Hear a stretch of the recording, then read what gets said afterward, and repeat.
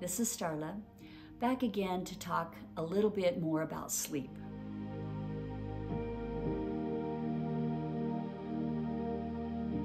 As we discussed in the last video, not sleeping well can make you irritable and sluggish, and everybody has difficulty sleeping sometimes, but it shouldn't be all the time.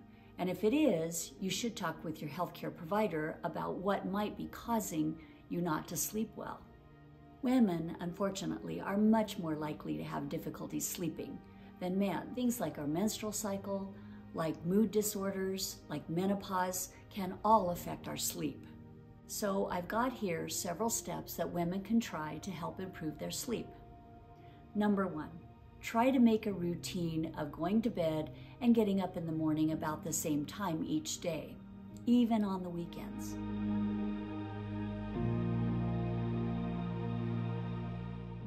This is easier said than done with little ones for sure.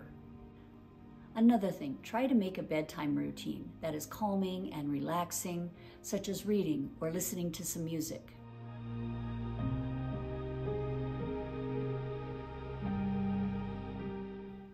Good idea to avoid your computers and your phone screens as the blue and green lights can make it more difficult to fall asleep. Number two, try to not take naps after 3 p.m.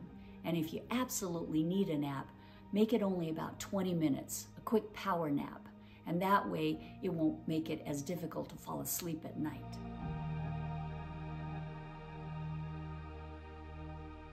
Number three, try to avoid caffeine and alcohol late in the day. Caffeine can stay in our system for up to 10 hours after we drink it, so this can really affect our bedtime routines. Number four, try to avoid nicotine completely.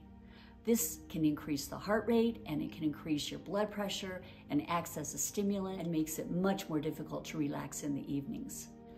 Number five, get regular exercise, but avoid it two to three hours before your bedtime.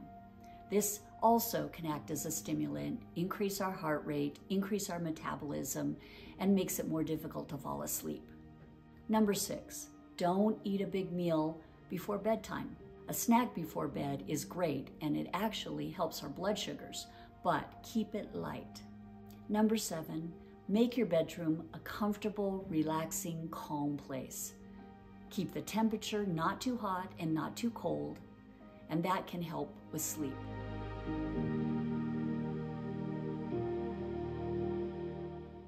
And number eight, if you can't fall asleep after 20 minutes of lying in bed, get up and do something that's calming and relaxing that'll make you sleepy. Number nine, there are some sleepy time teas and some supplements such as melatonin and valerian root, which can possibly help us fall asleep, but be sure and check with your healthcare provider before you take any of these to make sure they're safe. If these suggestions don't help and you still are having difficulty sleeping, please check with your healthcare provider to check to see if there's anything going on that could be affecting your sleep that's more serious. And as always, follow our website at 307 Midwife for more information. See you soon.